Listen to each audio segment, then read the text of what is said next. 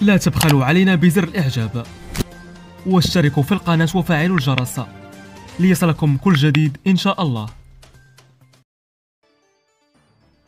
تمكنت القوات المسلحة الملكية نهار يوم الاثنين 30 نوفمبر الجاري من استهداف أماكن استغلتها ميليشيات البوليساريو من أجل الاختباء.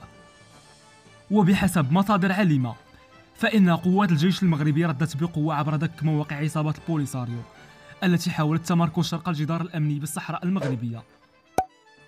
وكان الرد المغربي بالمدفعية الثقيلة مخلفا خسائر فادحة في صفوف ميليشيات قطاع الطرق التي كانت تسعى لاستهداف عناصر القوات المسلحة المرابطة بالجدار الأمنية ما تنسوش اشتراك وتفعيل زر الجرس لتتوصلوا بكل جديد إن شاء الله.